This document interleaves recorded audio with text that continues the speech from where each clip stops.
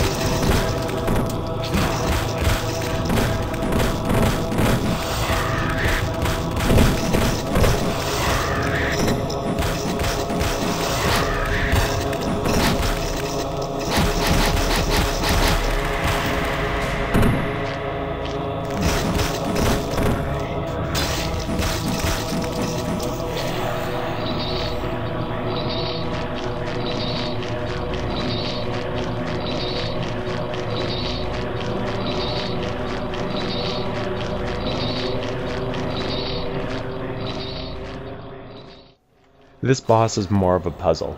If you try to take him out with any given combo, he will interrupt and do some serious damage. Head back to the whirling blades. Stand near the top and let them chop. Slowly head down so the boss takes the max brunt of the damage, and don't touch the blades.